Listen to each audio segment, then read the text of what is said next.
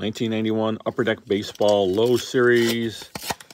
Find the Jordan Nolan something or other. All right, we got Bill Sampen, Tom Browning, Scott Sanderson. We got here, oh, we got a Nolan. Mike Witt. We got Karl Tuffy Rhodes. We got a Nolan there. It's not signed, no. Bullshit. All right, Rudy Seanez. And then we got Roberto Alomar, for you fans of Spit. Gerald Perry. We got Jim Deshaies. Oh, we got Genetic Garbage himself. Ozzie Canseco with Jose there in the background.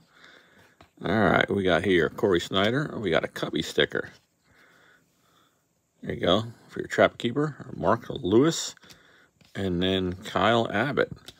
All right, I mean, it could be worse. It's still hot garbage. Thanks for watching.